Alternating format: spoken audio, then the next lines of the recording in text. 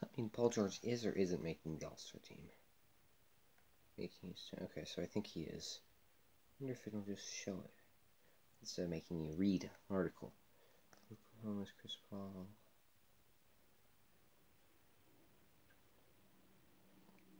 Tatum. Utah's Tatum. Yes!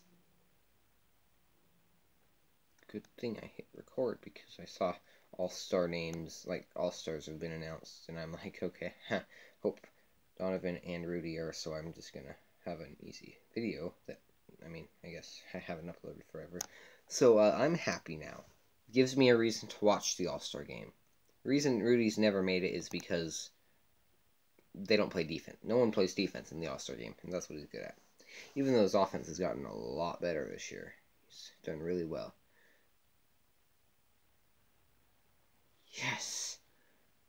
Donovan Mitchell, who I am currently wearing his jersey, if you can't tell. You that's a 24. Is there a way to Okay, no, but um this is his jersey. You can take my word. I don't I wasn't I mean, I was around to watch Paul Millsap.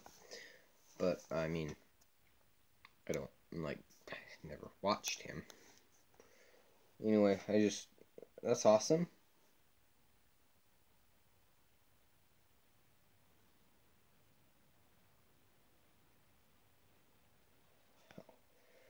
Crazy. I mean, it's not crazy. They they very much deserve it.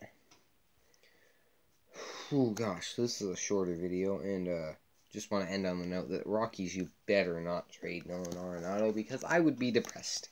Also, I'm not ending it on that because that's not just not a baseball video. But uh, I just had to say it and get it out there that Rockies fans are not for trading Nolan. Okay. Go Jazz. Donovan Mitchell and Rudy Gobert are making the All Star team. I am a happy person. Let's go, Jazz.